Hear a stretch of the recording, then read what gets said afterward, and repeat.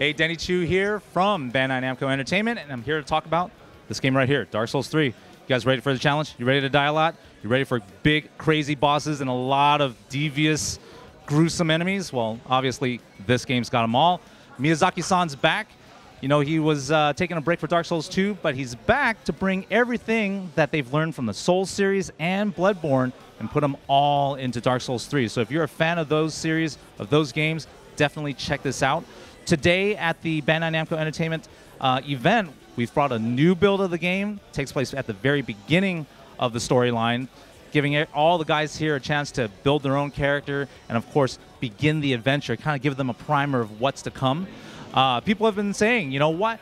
Why is Dark Souls uh, the series so difficult and all that? And here's the trick for all you guys that may not be familiar with the series: don't fear the difficulty, don't fear the challenge, and change your mindset in terms of how you play it.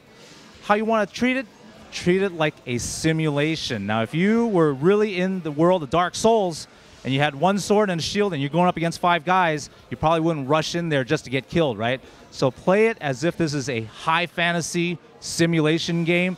That's the trick that's going to get you to the end. So we'll see you April 12th, 2016 on PlayStation 4, Xbox One, and of course PC on Steam. And uh, we're going to have a great time together. See you then.